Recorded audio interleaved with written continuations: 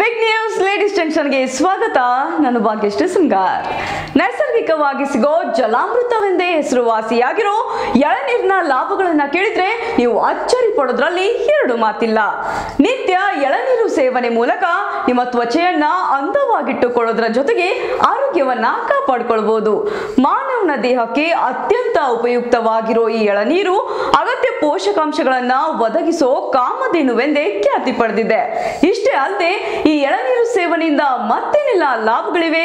ಈ ಎಲ್ಲವನ್ನ ತಿಳಿಸ್ಕೊಡ್ತೀನಿ ಇವತ್ತಿನ ಲೇಡೀಸ್ ಜಂಕ್ಷನ್ನಲ್ಲಿ ಸಮುದ್ರ ತೀರದ ಬೆಳೆಯಾದ ತೆಂಗಿನ ಮರವನ್ನ ಕಲ್ಪವೃಕ್ಷವೆಂದು ನಮ್ಮ ಹಿರಿಯರು ಪರಿಗಣಿಸಿ ಪ್ರತಿ ಮನೆಯಲ್ಲಿಯೂ ನೆಟ್ಟಿದ್ರಿಂದ ಇಂದು ಇಡೀ ಭಾರತದಲ್ಲಿ ತೆಂಗಿನ ಮರಗಳು ಇಲ್ಲದ ಊರೇ ಇಲ್ಲವೆಂದು ಹೇಳ್ಬೋದು.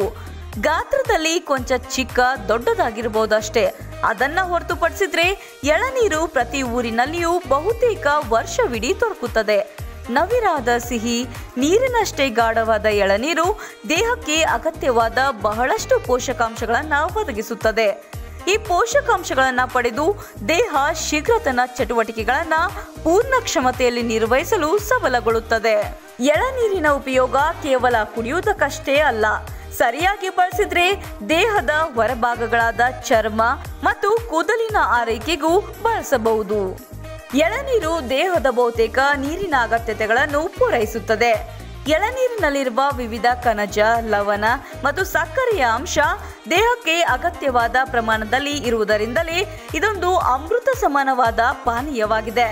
ದೈಹಿಕ ಚಟುವಟಿಕೆಗಳಿಗೆ ಈ ನೀರು ಅತ್ಯಂತ ಸಮರ್ಪಕ ಪ್ರಮಾಣದಲ್ಲಿ ಪೋಷಕಾಂಶಗಳನ್ನು ನೀಡೋದ್ರಿಂದ ಶರೀರ ತನ್ನ ಚಟುವಟಿಕೆಗಳನ್ನ ಹೆಚ್ಚು ಸಮಯ ನಿರ್ವಹಿಸಬಹುದು. ಹೆಚ್ಚಿನ ದೈಹಿಕ ಶ್ರಮವುಳ್ಳ ಕೆಲಸಕ್ಕೆ ಪ್ರತಿದಿನ ಒಂದಾದರೂ ಎಳನೀರು ಕುಡಿಯುವುದು ಆರೋಗ್ಯಕ್ಕೆ ಉತ್ತಮವಾಗಿದೆ. ಎಳನೀರು ವೃದ್ಧಾಪ್ಯವನ್ನ ಮುಂದೂಡುತ್ತದೆ. ಎಳನೀರಿನಲ್ಲಿ ಸೈಟೋಕ್ಲೈನ್ ಮತ್ತು ಲಾರಿಕ್ ಆಮ್ಲ ಎಂಬ ಎರಡು ಪೋಷಕಾಂಶಗಳಿವೆ. ಇವು ಜೀವಕೋಶದ ಸಮರ್ಪಕ ಬೆಳವಣಿಗೆಗೆ ಮತ್ತು ನಿಯಂತ್ರಣಕ್ಕೆ ನೆರವಾಗುತ್ತವೆ. ಎಳನೀರು ಕ್ಯಾನ್ಸರ್ ಜನಕ ಕಣಗಳಿಗೆ ವಿರೋಧ ಒಡ್ಡೋದ್ರಿಂದ ದೇಹವನ್ನ ಕ್ಯಾನ್ಸರ್ನಿಂದ ತಡೆಯುತ್ತವೆ.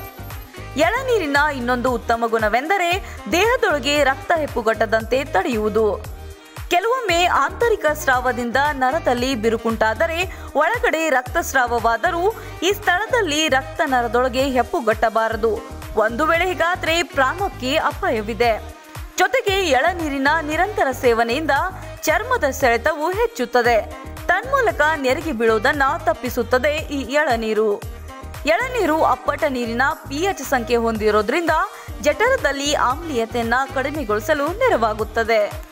ಎಳನೀರು ಜೀವರಸಾಯನ ಕ್ರಿಯೆಯನ್ನ ಉತ್ತೇಜಿಸುತ್ತದೆ. ನಮ್ಮ ಆಹಾರದ ಮೂಲಕ ಲಭ್ಯವಾದ ಸಕ್ಕರೆ ಮತ್ತು ಇತರ ಪೋಷಕಾಂಶಗಳನ್ನು ಜೀವಕೋಶಗಳಿಗೆ ತಲುಪಿಸುವ ಜೀವರಸಾಯನಿಕ ಕ್ರಿಯೆಯನ್ನು ಕ್ರಿಯೆಯನ್ನ ಎಳನೀರು ಉತ್ತೇಜಿಸುವ ಕಾರಣ ಹೀರಿಕೊಂಡ ಸಕ್ಕರೆ ಶೀಘ್ರವೇ ಕರಗಿ ದೇಹಕ್ಕೆ ಹೆಚ್ಚಿನ ಶಕ್ತಿ ದೊರಕುತ್ತದೆ.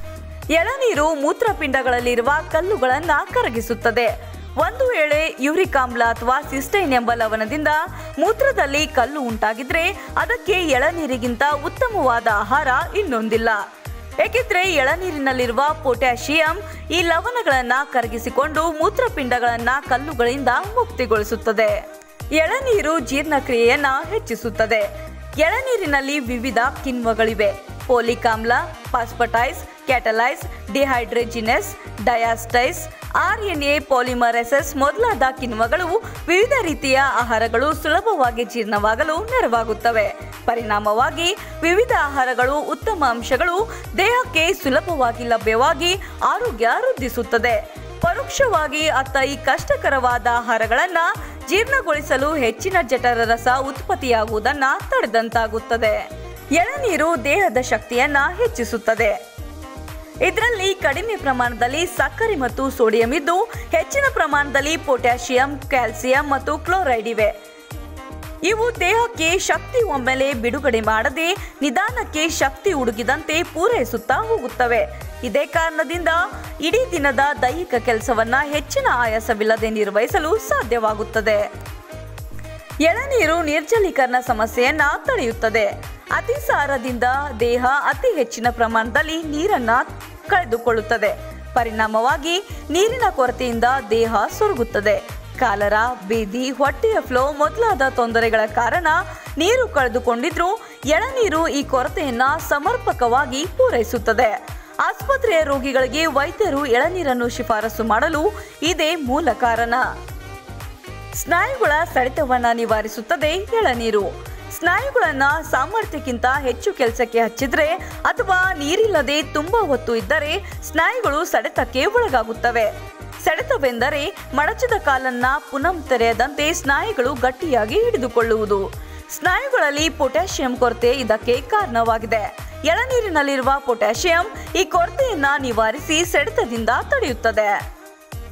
ಎಳನೀರು ಮೂಳೆಗಳನ್ನ ಗಟ್ಟಿಗೊಳಿಸುತ್ತವೆ. ಹಾಲಿನ ಮೂಲಕ ಅತ್ಯಧಿಕ ಪ್ರಮಾಣದಲ್ಲಿ ಕ್ಯಾಲ್ಸಿಯಂ ದೊರೆಯೋದ್ರಿಂದ ದೇಹಕ್ಕೆ ಸರಿಯಾದ ಪ್ರಮಾಣದಲ್ಲಿ, ಅಂದರೆ ಹೆಚ್ಚು ಅಲ್ಲ, ಕಡಿಮೆಯೂ ಅಲ್ಲ, ಕ್ಯಾಲ್ಸಿಯಂ ನೀಡುವ ಮೂಲಕ ಮೂಳೆಗಳು ಸದೃಢವಾಗುವ ಜೊತೆಗೆ ಸ್ನಾಯು ಮತ್ತು ಅಂಗಾಂಶಗಳು ಉತ್ತಮಗೊಳ್ಳುತ್ತವೆ. ಎಳನೀರು ಹೊಟ್ಟೆ ಉಬ್ಬರಿಸುವುದನ್ನ ತಡೆಯುತ್ತದೆ. ಜಠರದಲ್ಲಿ ಎಳನೀರು ಸೇರುವ ಮೂಲಕ ಅನಗತ್ಯ ವಾಯು ಉತ್ಪತ್ತಿಯಾಗುವುದನ್ನು ತಡೆಯುತ್ತದೆ. ಪರಿಣಾಮವಾಗಿ ಹುಳಿತೇಗು ಹೊಟ್ಟೆಯುರಿ, ಹೊಟ್ಟೆಯುಬ್ಬರ, ವಾಯು ಪ್ರಕೋಪ ಮೊದಲಾದ ತೊಂದರೆಗಳಿಂದ ಮುಕ್ತಿ ಹೊಂದಬಹುದು.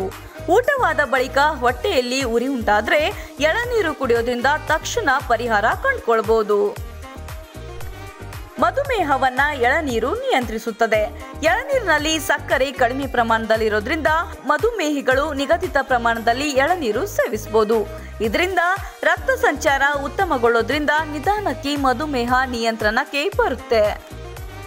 ಎಳನೀರು ರಕ್ತದೊತ್ತಡವನ್ನ ಕಡಿಮೆಗೊಳಿಸುತ್ತದೆ. ಕೆಲವೊಮ್ಮೆ ರಕ್ತದಲ್ಲಿರುವ ಎಲೆಕ್ಟ್ರೋಲೈಟ್ ಎಂಬ ಕಣಗಳು ರಕ್ತದ ಒತ್ತಡವನ್ನ ಹೆಚ್ಚಿಸುತ್ತವೆ. ಈ ಕಣಗಳ ತೀವ್ರತೆಯನ್ನ ಎಳನೀರು ಕಡಿಮೆಗೊಳಿಸೋದ್ರಿಂದ ರಕ್ತದ ಒತ್ತಡ ಕಡಿಮೆಯಾಗುತ್ತೆ. ಎಳನೀರು ಚರ್ಮಕ್ಕೆ ತೇವಾಂಶ ನೀಡುತ್ತೆ. ಬಿಸಿಲಿನಲ್ಲಿ ಚರ್ಮ ಹೆಚ್ಚಿನ ನೀರನ್ನ ಕಳೆದುಕೊಳ್ಳೋದ್ರಿಂದ ಒಣಗುತ್ತೆ. ಚಳಿಗಾಲದಲ್ಲಿ ಗಾಳಿಯಲ್ಲಿಯೇ ತೇವಾಂಶ ಇಲ್ದಿರೋದ್ರಿಂದ ಚರ್ಮ ಒಣಗುತ್ತೆ. ಈ ಎರಡೂ ಪರಿಸ್ಥಿತಿಯಲ್ಲಿ ಎಳನೀರು ಚರ್ಮಕ್ಕೆ ಉತ್ತಮ ಆರೈಕೆ ನೀಡೋದ್ರ ಜೊತೆಗೆ ಚರ್ಮದ ಆರೋಗ್ಯವನ್ನ ವೃದ್ಧಿಸುತ್ತೆ. ಎಳನೀರನ್ನ ಹತ್ತಿಯಲ್ಲಿ ಮುಳುಗಿಸಿ ಚರ್ಮಕ್ಕೆ ಹಚ್ಚೋದ್ರಿಂದ ಚರ್ಮ ಕಳೆದುಕೊಂಡಿದ್ದ ತೇವಾಂಶವನ್ನ ಮತ್ತೆ ಪಡೆಯಲು ಸಾಧ್ಯವಾಗುತ್ತೆ. ಎಳನೀರು ಸುರಕ್ಷಿತವಾಗಿದ್ದು ದೇಹದ ಇಡೀ ಭಾಗಕ್ಕೆ ಹಚ್ಚಬಹುದಾಗಿದೆ. ಚರ್ಮದ ಕಾಂತಿಯನ್ನ ಹೆಚ್ಚಿಸುತ್ತೆ. ಚರ್ಮದ ಆರೈಕೆಗೆ ಒಳಗಿನಿಂದ ಹೆಚ್ಚಿನ ನೀರಿನ ಪೂರೈಕೆ ಆಗಬೇಕು. ಎಳನೀರಿನ ಸೇವನೆಯಿಂದ ಚರ್ಮಕ್ಕೆ ಅವಶ್ಯಕವಾದ ನೀರು ಲಭ್ಯವಾಗುವ ಮೂಲಕ ಚರ್ಮ ಒಳಗಿನಿಂದ ಪೋಷಣೆ ಪಡೆಯುತ್ತೆ. ಪರಿಣಾಮವಾಗಿ ಚರ್ಮ ಕಾಂತಿಯುತವಾಗುತ್ತೆ. ಒಣಗಿದ ಮತ್ತು ಬಿಳಿಚಿದ ಚರ್ಮವು ನಿಧಾನಕ್ಕೆ ಸೆಳೆತ ಪಡೆದು ಮುಖದ ಕಾಂತಿಯನ್ನ ಹೆಚ್ಚಿಸುವುದರಲ್ಲಿ ಅನುಮಾನವೇ ಇಲ್ಲ. ಬಿಸಿಲಿಗೆ ಚರ್ಮ ಬಣ್ಣಗಿಡುವುದನ್ನ ಎಳನೀರು ತಪ್ಪಿಸುತ್ತದೆ. ಬಿಸಿಲಿಗೆ ಒಡ್ಡಿದ ಚರ್ಮದ ಭಾಗ ಹೆಚ್ಚು ಗಾಢವಾಗಿರಲು ಚರ್ಮದ ಮೆಲನಿನ್ ಕಾರಣವಾಗಿದೆ. ಎಳನೀರನ್ನ ಕುಡಿಯುತ್ತಾ ಬರೋದ್ರಿಂದ ಹಾಗೂ ಬಿಸಿಲಿಗೆ ಒಡ್ಡುವ ಚರ್ಮಕ್ಕೆ ಹಚ್ಚೋದ್ರಿಂದ ಈ ಬಣ್ಣ ಗಾಢವಾಗೋದ್ರಿಂದ ತಪ್ಪಿಸ್ಕೊಳ್ಬಹುದು ಎಳನೀರು ಎಣ್ಣೆ ಚರ್ಮದ ಆರೈಕೆಗೂ ಬಳಸಬಹುದಾಗಿದೆ. ಎಣ್ಣೆ ಚರ್ಮಕ್ಕೆ ಚರ್ಮದ ಒಳಪದರಿನಿಂದ ಒರೆಸುವ ಜಿಡ್ಡು ಕಾರಣವಾಗಿದೆ. ಈ ಜಿಡ್ಡು ಚರ್ಮದ ಮೇಲ್ಮೈ ಮೇಲೆ ತೆಳುವಾಗಿ ಹರಡಿ ಅಂಟಿಕೊಂಡು ಧೂಳನ್ನ ಸೆಳೆಯುತ್ತೆ. ಈ ಪಸೆಯನ್ನ ಎಳನೀರು ಆದ್ಯದ ಹತ್ತಿಯಿಂದ ಒರೆಸಿಕೊಂಡರೆ ಎಣ್ಣೆ ನಿವಾರಣೆಯಾಗುತ್ತದೆ. ಜೊತೆಗೆ ಎಳನೀರಿನ ಸೇವನೆಯಿಂದ ಚರ್ಮದಡಿಯಲ್ಲಿ ಎಣ್ಣೆ ಉತ್ಪತ್ತಿಯಾಗುವುದು ಕಡಿಮೆಯಾಗಿ ಚರ್ಮ ಸಹಜ ವರ್ಣವನ್ನ ಪಡೆಯಲು ನೆರವಾಗುತ್ತೆ. ಎಳನೀರು ಕೂದಲು ಉದುರುವುದನ್ನ ತಡೆಯುತ್ತೆ ತಲೆಯ ಕೂದಲನ್ನ ಕೊಂಚ ಎಳನೀರಿನಿಂದ ಮಸಾಜ್ ಮಾಡೋದ್ರಿಂದ ತಲೆಯ ಚರ್ಮದಲ್ಲಿ ರಕ್ತ ಸಂಚಾರ ಹೆಚ್ಚಾಗುತ್ತೆ. ಪರಿಣಾಮವಾಗಿ ಕೂದಲು ಬುಡ ಹೆಚ್ಚು ಶಕ್ತಿಯುತವಾಗುತ್ತವೆ ಮತ್ತು ಉತ್ತಮ ಗುಣಮಟ್ಟದ ಕೂದಲು ಬೆಳೆಯಲು ನೆರವಾಗುತ್ತೆ. ಕೂದಲು ಉದುರೋದು ಕಡಿಮೆಯಾಗಿ ಕೂದಲು ಹೊಳಪು ಹೆಚ್ಚುತ್ತೆ. ಎಳನೀರಿನಲ್ಲಿರುವ ವಿವಿಧ ವಿಟಮಿನ್ ಮತ್ತು ವಿಶೇಷವಾಗಿ ವಿಟಮಿನ್ ಕೆ ಮತ್ತು ಕಬ್ಬಿಣದ ಅಂಶ ಕೂದಲಿಗೆ ಸಹಕಾರಿಯಾಗಿದೆ. ಈ ಪೋಷಕಾಂಶಗಳು ಕೂದಲಿಗೆ ಹೊಳಪು ನೀಡುವಲ್ಲಿ ಮತ್ತು ಮೃದುವಾಗಿಸುವಲ್ಲಿ ನೆರವಾಗುತ್ತೆ. ಮಕ್ಕಳಿಗೆ ಎಳನೀರಿನಲ್ಲಿ ಕೊಂಚ ಕೇಸರಿ ಮತ್ತು ಅರಿಶಿನ ಪುಡಿಯನ್ನ ಸೇರಿಸಿ ಕುಡಿಯಲು ನೀಡೋದ್ರಿಂದ ಚರ್ಮದಲ್ಲಿ ಕಾಂತಿ ಹೆಚ್ಚುತ್ತೆ. ಎಳನೀರು ಮಲಬದ್ಧತೆಗೆ ರಾಮಬಾಣ. ಮಲಬದ್ಧತೆಯಂತಹ ತೊಂದರೆಗಳಿಗೂ ಪರಿಣಾಮಕಾರಿ ಪ್ರಭಾವವನ್ನ ಎಳನೀರು ಬೀರುತ್ತದೆ. ನಿಮ್ಮ ದೈನಂದಿನ ವ್ಯಾಯಾಮ ಚಟುವಟಿಕೆಯ ನಂತರ ಎಳನೀರನ್ನ ಸೇವಿಸುವುದರ ಮೂಲಕ ದೇಹಕ್ಕೆ ಧನಾತ್ಮಕ ಶಕ್ತಿಯನ್ನ ಒದಗಿಸಿಕೊಳ್ಳಿ. ಮೂತ್ರದ ಸಮಸ್ಯೆಗೂ ಎಳನೀರನ್ನ ಬಳಸಬಹುದು ನಿಯಮಿತವಾಗಿ ಎಳನೀರನ್ನ ಸೇವಿಸೋದ್ರಿಂದ ಉರಿ ಮೂತ್ರದಂತಹ ಅಪಾಯಕಾರಿ ಅಂಶಗಳನ್ನ ದೂರ ಮಾಡಿ ಸ್ವಾಸ್ಥ್ಯವನ್ನ ಒದಗಿಸಿಕೊಳ್ಳಿ. ತೂಕ ಇಳಿಕೆಗೆ ಎಳನೀರು. ನಿಮ್ಮ ದೇಹದ ಹೆಚ್ಚುವರಿ ತೂಕವನ್ನ ಕಡಿಮೆ ಮಾಡಿ ದೇಹವನ್ನ ಸುಸ್ಥಿತಿಯಲ್ಲಿಡುತ್ತದೆ ಎಂಬ ಅಂಶ ಈಗ ಕೆಲವು ಸಂಶೋಧನೆಗಳಿಂದ ಸಾಬೀತಾಗಿದೆ. ಇದರ ಕುರಿತು ಸಂಶೋಧನೆಗಳನ್ನು ಕೂಡ ನಡೆಸಿದ್ದು ಇದು ಧನಾತ್ಮಕ ಫಲಿತಾಂಶವನ್ನ ನೀಡಿದೆ. ಎಳನೀರು, ಪೊಟ್ಯಾಷಿಯಂ ಮತ್ತು ಸೋಡಿಯಂ ಮಿಶ್ರಣ. ಎಳನೀರಿನಲ್ಲಿ ಎಲೆಕ್ಟ್ರೋಲೈಟ್ ಪೊಟ್ಯಾಷಿಯಂ ಉತ್ತಮ ಪ್ರಮಾಣವನ್ನು ಹೊಂದಿದೆ. ಎಳನೀರಿನ ನೂರು ಮಿಲಿಲೀಟರ್ ನೀರು ಇನ್ನೂರ ಐವತ್ತು ಮಿಲಿಗ್ರಾಂ ಪೊಟ್ಯಾಷಿಯಂ ಮತ್ತು ಇನ್ನೂರ ಐವತ್ತು ಮಿಲಿಗ್ರಾಂ ಸೋಡಿಯಂ ಅಂಶವನ್ನು ಹೊಂದಿದೆ. ಇಂತಹ ಅಂಶಗಳು ಅತಿಸಾರದಂತಹ ಸಮಸ್ಯೆಯನ್ನು ತಡೆಯುತ್ತವೆ. ನೋಡಿದ್ರಲ್ಲ ವೀಕ್ಷಕರೇ, ಎಳನೀರು ಸೇವನೆಯಿಂದ ಏನೆಲ್ಲ ಲಾಭಗಳಿವೆ ಅಂತ? ಸೊ ನೀವು ಕೂಡ ಎಳನೀರು ಸೇವನೆ ಮೂಲಕ ನಿಮ್ಮ ಆರೋಗ್ಯವನ್ನ ರಕ್ಷಿಸಿಕೊಳ್ಳಿ. ಇದು ಇವತ್ತಿನ ಲೇಡೀಸ್ ಜಂಕ್ಷನ್ ಸ್ಪೆಷಲ್ ನಾಳೆ ಮತ್ತೊಂದು ವಿಶೇಷತೆಯೊಂದಿಗೆ ಭೇಟಿಯಾಗ್ತೀನಿ. ನಿರಂತರ ಅಪ್ಡೇಟ್ಸ್ಗಳಿಗಾಗಿ ನೋಡ್ತಾ ಇರಿ big news Kannada ladies junction with Bhagyashree Sundar ವೀಕ್ಷಿಸಿ ಪ್ರತಿದಿನ ಮಧ್ಯಾಹ್ನ ಎರಡು ಗಂಟೆಗೆ ನಿಮ್ಮ ಬಿಗ್ ನ್ಯೂಸ್ ಕನ್ನಡದಲ್ಲಿ